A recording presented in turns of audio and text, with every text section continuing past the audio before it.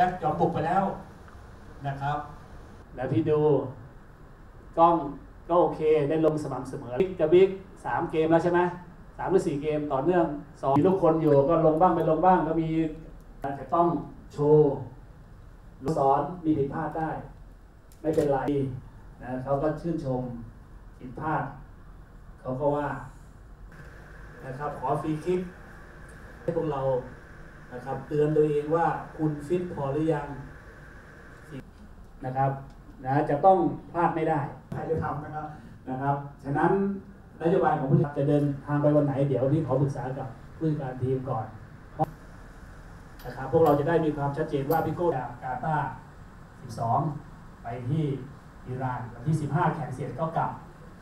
เพราะอะไรเพราะว่าเราต้องการให้ทีมแข็งแกร่ง